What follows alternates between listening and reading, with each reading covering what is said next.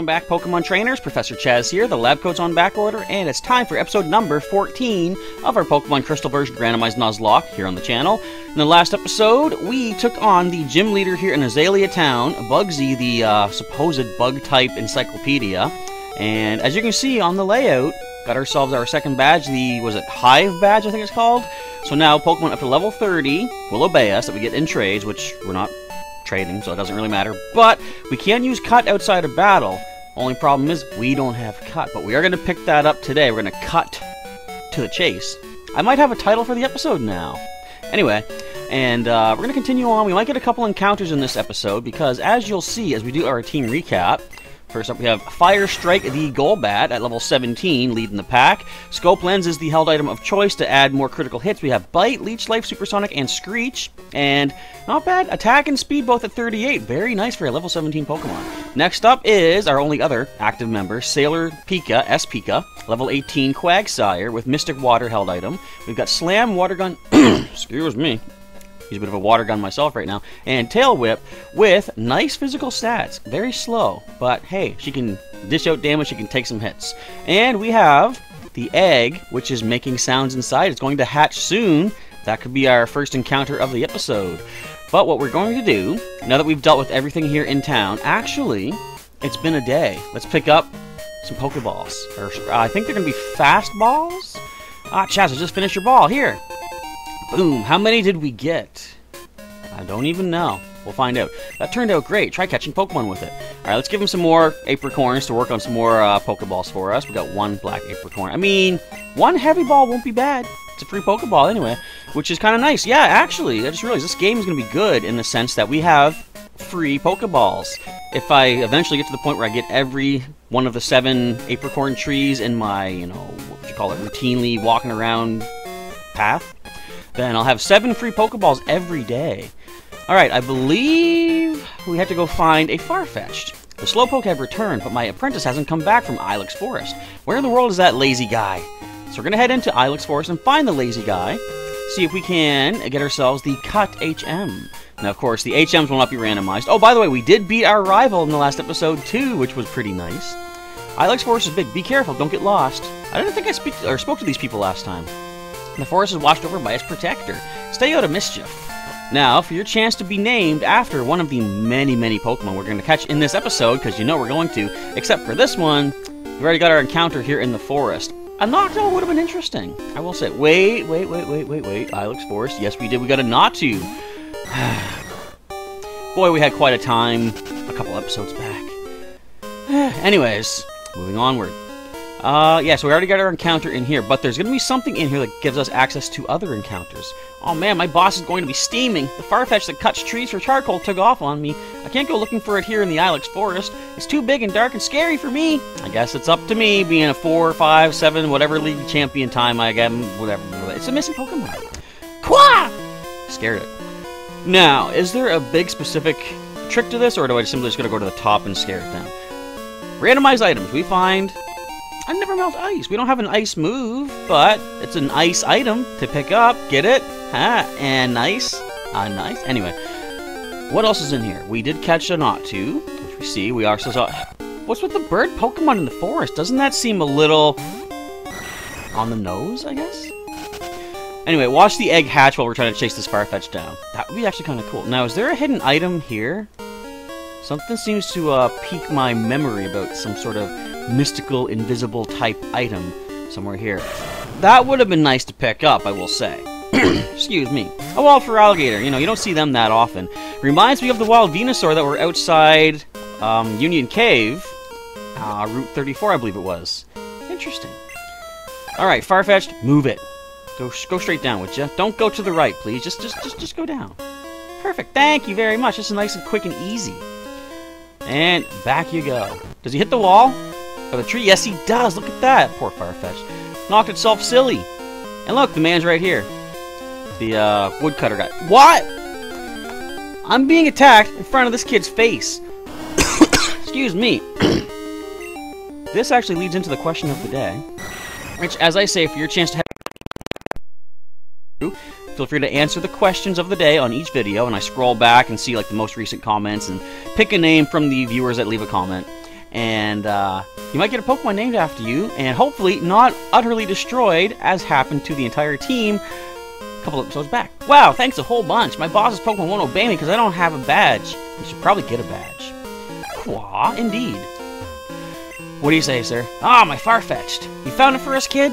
Without it, we wouldn't be able to cut trees for charcoal. Thanks, kid. Now, how can I thank you? I know, here, take this. We got HMO1 Cut.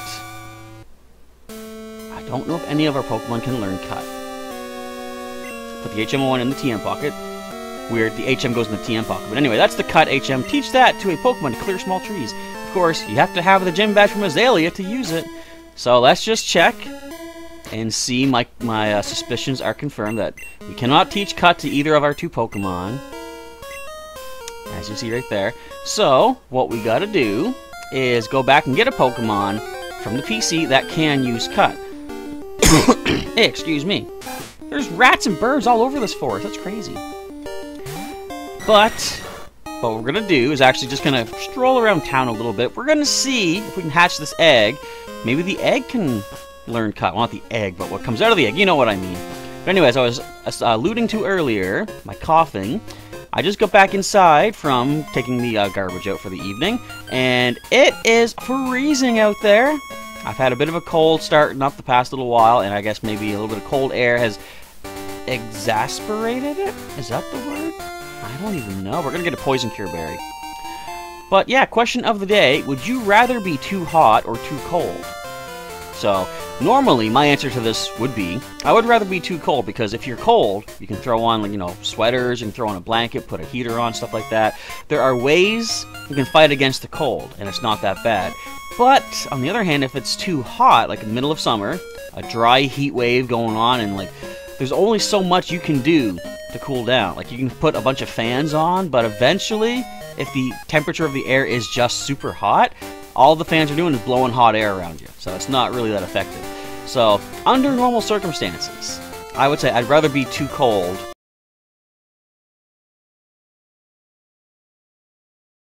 Oh, 50-50 on that one. But if you have a preference, let me know if you'd rather be too hot or too cold. Make sure to put uh, hashtag QOTD in the comments so I can see the comment pop up right in front of my eyes and have a chance to be named after what's going to hatch out. Alright, it might be legendary, it probably isn't knowing my luck, but let's see.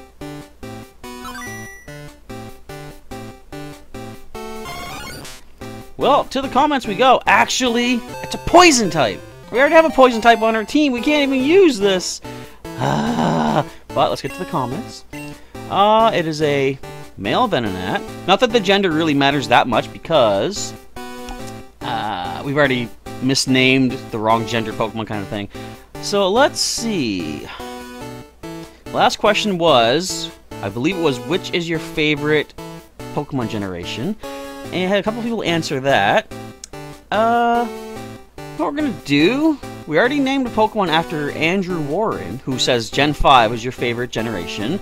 But since currently the Goldie known as Andrew is in the box and gone forever, we're gonna go with Warren.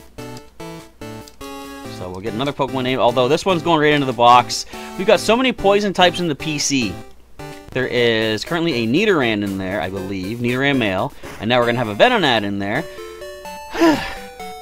I'd like to get another Pokemon to add to our team. Alright, anyway, box number one, I believe. We're box number one. Okay, we're going to deposit Warren, level 5. We can train Warren up if we need to at some point. Now we gotta switch over to our Dunzo box, because we do gotta bring back one of our defeated Pokemon to teach Cut to them. This is a little sort of requirement sometimes in a Nuzlocke where if you have no access to use an HM, you are allowed to have a temporary HM slave, so to speak. Uh, so let's go with, I do know that Unknown can learn Cut. So we're going to bring back Unknown. Not in the party, can't use this particular Pokemon, sadly. Thanks to a Magmar that does not like to be paralyzed at all. Except for one time, it was paralyzed. And we missed two wraps back to back. Where's the fairness, right? RNG, I know. Okay, Unknown wants to learn Cut. And as soon as we do get a Pokemon on the team that can learn Cut in place of Unknown, we will swap it out. doesn't really matter what we replace. We're going to replace Wrap because we're not going to be able to use this Pokemon battle-wise. I could have just actually forgotten Vine Whip, to be honest. Alright, but we have Cut, we have the badge, we're ready to move on. There is a person in the forest I'm looking forward to meeting up with and uh, getting what they hand over to us. When I randomized the game, I did randomize what attacks are taught to you by TMs, but I did make sure field TMs, attacks that can be used outside of battle, do stay the same. At least I'm pretty sure. HMs are always going to be like, you have to have HMs in the game, so those can't be swapped out. But there, I don't walk now. There is one particular type of attack I want to pick up. Ilex Forest is so overgrown with trees that you can't see the sky. Please watch out for items that may have been dropped. Now, if I knew where to find the hidden items, I would be going right to those spots, picking up whatever I can find. But since I don't know where they all show up, I'm not going to be going all willy-nilly clicking A on every spot, even though there could be some really good items hidden all throughout this forest. Although this one's pretty clear. Pick this up, we got Repel. Could sell the Repel and get cash quite well, but I'll keep it for now. Of course, I can't sell it here in the forest. No people around. We're also going to pick up an iron. That's also good for selling. It also helps us play. So let's hold on to some cash in our pocket. I want that item. I'm going to get attacked, I know it. But we pick up a Great Ball. Not bad. Alright, here's where I'm going to be Mr. Hypocritical. I don't like to use anything but regular Pokeballs when it comes to playthroughs. Just because the added challenge of it is a thing, and I just like the look of the red and white Pokeball. Admittedly, though, when it comes to things like Kurt's Pokeballs, I kind of don't mind using those because how unique they are. You, you, you can't just go into a shop and buy heavy balls. You have to have them made for you. So in that sense, I'm not that opposed to the Apricorn Pokeballs, but the Great Ball will probably just sell it. Alright, what am I doing? I'm shaking trees using Headbutt. It's fun. Here, you try it too. We got TMO2, which should still teep te teach Headbutt. Rattle trees with Headbutt. Sometimes sleeping Pokemon fall out. So let's just make sure we got us a Headbutt. There it is. Field moves are still where they should be. Alright, we're going to teach Headbutt to Espika, who's the only one that can learn it. That's a good replacement for Slam, too, by the way. So, since we have an encounter in the forest, we cannot get something here. But we're heading back to Azalea Town, now that we can headbutt trees in town. New encounter coming our way. Might, uh, might hopefully be able to catch it. Who knows? How did that grow back so quick? Usually they only grow back when you've left the field, left the area, and come back in. Did I leave the area? I don't think I did. Weird, isn't it? Might be just because we had an encounter. Although if that's the case, we should see it grow back now. What's the deal? Why'd that grow back so quick? Might be because we left it off the screen, maybe. I guess they only grow back when you're they're not you're, you're not looking at them. Kind of like the uh, the Boo Buddies in Mario Brothers. All right, let us bop a tree. This is still in city limits. Okay. Come on, let's see what we can get. Pokemon could be sleeping in the tree. Nothing. All right, we're gonna keep doing this. We need an encounter. We need more Pokemon, non-poison type, if you will. All right, first encounter for Azalea Town. That ain't no poison type. It is sadly a water type, which means we cannot add it to our team, but it is a new encounter. I'm gonna say a Leech Life will not knock you out. We're level 17, you're level 10, but it's like base negative 4 power. There you go, see? Clearly it's easy enough to get. Alright. Question is, will we catch it? We got a couple of fastballs we can make use of. I don't think those are like the quick balls of current generation where if you use it at the first turn of a battle, they have the best chance to catch. I believe it's based off of... Well, technically, I think the fastball is for Pokemon that run away, like Entei, Raikou, Suicune. Which, if they are going to be randomized, when they start running around, are there going to be, like, different species that run around? Like, can we track, say, like, if it was a wild Bellsprout or something like that? Are we able to track that? That would be interesting. Alright, so sadly, having lost our team, we cannot put this thing to sleep. Um, no, we can't. I'm trying to think. We're trying to think. What do we have on our team that can status condition this? Nothing. Sadly, nothing right now. Can Golbat learn Hypnosis? I seem to think it might be a bit of an egg move for some reason. Come on, wake up. One more Leech Life. Just want to weaken it a little bit more. Fire Strike, you got this. Wake up. Boom, Leech Life. Yes! Critical hit. Bring it down to the red. I'll be okay with that. Alright, can't hit it again. A little bit too low. Alright, we are on a timer. We gotta do this. Let's go Pokeball. We got 16. We got two chances to catch this thing. Ah. Because once we get down to a one count, we have to switch out. We can't lose a Pokemon to Perish Song. Ah. And if we don't catch this, I will say the consolation is that we can't use it on our team right now anyway. I would like to have more backup, but we're not going to get backup from Azalea Town, sadly. This thing happens to know how to knock itself out. Best we could here. Let's let it faint. Let's get the experience. You know, why not? You're gonna, you're gonna steal an encounter, a, a capture from me, Politoed. You're giving me something. I'll take a couple experience points off you. And that is that. But, where are we at on the time? We still got about eight, nine minutes or so. We're gonna head on up to Route, what's it called? 35? Heading up towards Goldenrod City, see if we can get another encounter. If we can even get through the forest, now that I think about it. Are there trainers in the forest? We will find out. One positive side to having just a team of two is that you're not spreading the experience across as many Pokemon, so they can level up quicker. There are people that solo run through Pokemon games. They use just their starting Pokemon, and I I've heard that in, in Gen 2, you can get to like level close to level 20 just from fighting trainers on your way to this city here. And the Ace use what level 16, so yeah, having fewer Pokemon is kind of good. Type-wise, not the best thing, because if you have like an electric type and you fight a ground type, you're done. But generally, it's kind of a good thing. Alright, what do we got? Show us a shiny. You know what? As I said earlier, shiny claws. Hey, Par I think, don't Paras normally show up here? It's kind of cool. Shiny Clause is a thing where if you happen to find that 1 in 8,000 chance, I think back in this generation, of finding a wild shiny Pokemon, generally, people say you're allowed to catch it. Which, I'm gonna catch it. I will be hesitant to use it, Unless it happens to be our first encounter.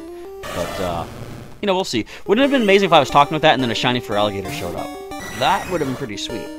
Do you all have your shiny Feraligatr from Pokemon Go Community Day in January? I've got... I think I got just the... Yeah, I caught three shiny Totodile, I believe it was. Where's it four? I don't know. I caught some. You are a trainer. Don't sneak up on me like that. You frightened a Pokemon away. Did it... Did, it, did I do that, or did it Perish Song itself? That Could be a thing. Alright, Bug Catcher Wayne has a Porygon. We fought a bunch of these out on Route 34 preparing for the gym. It was kind of funny seeing it convert to different typings and stuff. Which is...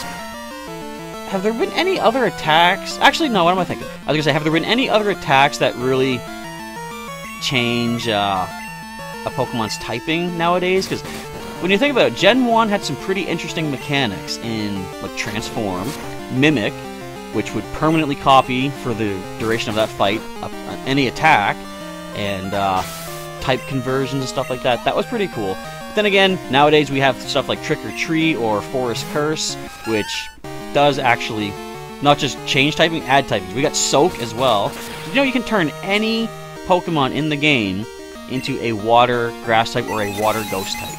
That is confusion. I didn't even think about psychic moves, but we're fine. Not even confused, look at that. Perfect. But yeah, any Pokemon can be turned into a uh, water and ghost or water and grass type. Soak them, hit them with Forest Curse or the other thing, and you just change their typings completely around. A Pokemon I've never seen before fell out of the tree when I used Headbutt. I ought to use Headbutt in other places too. Foreshadowing. Ah, I'm under attack. But also, speaking of typings and changing and stuff like that, a what is it? A Paras with no a Scizor. If you could get Scizor, like add. Wade, I'm trying to talk about something here. Good evening, Chas. It's me, Wade. Were you awake? The bug catching contest is at National Park today. Are you going, Chas? I'm trying to make up my mind. See you later. I'm not, but that could be something to do Thursday. You guys could see it on Friday, perhaps, because I'm sure around Thursday we'll be here in Goldenrod City near National Park. That would be interesting. But anyway, if you take a Scizor, you hit it with Forest Curse to add Grass typing to it, and then if you were to skill swap Dry Skin onto it, you've just given it, what is it, a times 16 weakness to Fire. It is normally, like, you know, Bug is weak to Fire, so that's times 2. Steel is weak to Fire, that's times 4, the multipliers. Times 8 if you hit it with Forest Curse to add Grass typing, and times 2 again. So times 16 with Dry Skin. Ember takes you down at that point. Unless you could also swap on Sturdy, give it two abilities, you know. Did you see the shrine honoring the Protector? It watches over the forest from across time. I think that it must be a grass-type Pokemon. You've done your Pokemon Go special research. Oh, honey, you're making a Pokedex? It must be hard if Pokemon won't appear. Try using this TM. Now, this should still be Sweet Scent, because this is a field move. It's Sweet Scent. Use it on enemy Pokemon. Now, it does lower evasiveness on the target, and it also makes Pokemon appear in the wild. But remember what I said. Wait. I'm checking my town map. I thought Route 34 was... I'm messed up. Route 33 is outside Union Cave. I don't even need to check the map. What I want to do is talk to all these trainers before looking for an encounter, because if I find someone that says, oh, I'll call you if a rare species shows up, I want to have the option of that rare species being our encounter, you know? Berry trees grow new berries every day. Make a note of which trees bear which berries. Bear berries? Very interesting. Let's go. What you got? This is where I do my training. You know, on second thought, I kind of want to just add another encounter. Uh... Well, this guy's got four Pokemon. This battle might take us the rest of the episode anyway, so... If we have more than a minute left on my timer when we're done fighting this guy, I'll look for an encounter today. If not, I'll wait, fight the other trainers in the next episode, and see if anyone promises me a potential rare encounter later on. Sound good? Hopefully it does, because that's what I'm going with. Alright, first one down, Fire Strike level 18. Can we learn Mega Wing Attack? Nothing at all. Well, okay then. Dratini! That was our starter in Pokemon Yellow randomized Nuzlocke. Didn't last the whole time, sadly, but... Still cool to see. A critical bite. Scope Lens. Gotta love it. Down goes the myth, not mythical, mystical dragon Pokemon. Hey, I remember you from Sprout Tower, Kingler. How's it going? Have a bite. You got no special defense. You don't have good special attack, though, is the thing. So, I mean, yeah, you're gonna live that. One more bite drops you, and what's the final Pokemon? Watch it be. I want to see. Show us a legendary. You know, I know I'm asking for a kick in the butt, but I want to see a legendary Pokemon legendary. That would have been interesting to see in Bugsy's Gym Power, because that is normally his ace. And critical bite. So a minute 40 left on my timer. I'm just jumping in the grass. We're going to see what we can find out here. Beaten by a passing stranger. I'm not strange. Actually, I'm completely strange. I'm going to train even harder. After all, I'm trying to become a gym leader. Alright, let's see what our encounter for Route 34 is. Right here. Second blade of grass fire, dark. We don't have either of those types yet. I would like to add this to our team. Excuse me. So, obviously bite, it resists it. How much does it resist it? That was a critical. Oh yeah, I was gonna say, not enough. Don't even! Alright, tell you what. Tell you what. We're gonna try this. Fastball, go. I don't know if it's going to matter. Don't roar me away. Yes! Okay! Woo! That was interesting. Houndour's data added to the Pokedex. Houndour, the dark Pokemon. Around dawn, its ominous howl echoes through the area to announce that this is its territory. Would you like to give a nickname? Yes, I would. Let's go back to the comments. And Unknown Spike has left an answer to the question of the day. All Pokemon generations are your favorites, except Gen 5, which is your least favorite. And asking, what is my favorite generation? I'm pretty sure I answered that in the last one, but I like Gen 7 because of all the features and enhancements and stuff that it has. And basically, it has a lot of what the earlier generations have given, plus more. It is lacking some things like Pokemon following you and stuff like that, but I already kind of rambled about that. So, since we've already named Bellsprout Unknown, which once we get to Goldenrod City, don't let me forget, I gotta put it back in the PC, we're gonna go with Spike, which kind of fits for a, uh, a puppy dog, actually. Granted, it is a female, and this is, you know, Spike's not really a female name, so to speak, but it's 2019, no judgment here. So Spike is added to our team. Let's take a look and see what Spike is working with. No held item. I was hoping there'd be a held item. Alright, but anyway, Spike level 12, Dark and Fire type, nice. Uh, Leer, Ember, and Roar. Interesting that they do still use their PP in this game. Like in Gen 1, they did they had unlimited PP. It did not track what their PP was, but cool to see that they actually use it. And speed is 22. That ain't bad at all. Nice speed stat. Alright, but that is going to wrap things up for today's episode. We are getting back on track, and even though we only have three Pokemon, we are getting some backup in the PC. Well, we have a backup, we have a Nidoran, but it's backup. Anyway, we'll see what happens next time as we go into Goldenrod City, and hopefully Whitney does not have anything as dangerous as a Miltank. Wouldn't it be interesting if I actually set this to similar strength Pokemon for trainers and she had something like Miltank? Let's not even go there. Anyway, Hopefully you folks enjoyed today's episode of our Pokemon Crystal version randomized Nuzlocke. If you did, feel free to hit me the, hit me with that like button down below. Don't actually hit me, because I would assume a button is made of hard plastic, and that probably would cause some sort of an injury. Maybe not in, you know, severe enough to go to the hospital for, but might leave a mark, you know. Don't really want that. Unless it's like a big thumbs up on my face. Then I can just go like, hit the like button. Anyways, I'm rambling. Thanks again for watching, folks, and if you want to see some more episodes of Pokemon Crystal version Randomized Nuzlocke, link in the description to the playlist, link during the outro as well. You can subscribe for some more regular Pokemon content, and join as a member if you want some members-exclusive perks, which I will address probably the next episode. Yeah, live streaming has been a bit of a hiatus on the channel. I've just had a lot of busy downtime.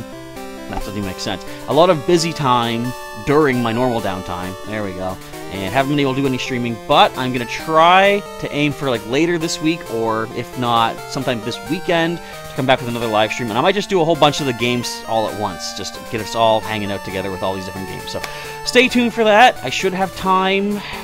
I shouldn't say I should have time. I hope to have time this weekend or later this week. So just stay tuned to the channel. I apologize that it's all by the wayside. Bear with me. I appreciate your support and your interest regardless. So all that being said, I'm just going to be a broken record now.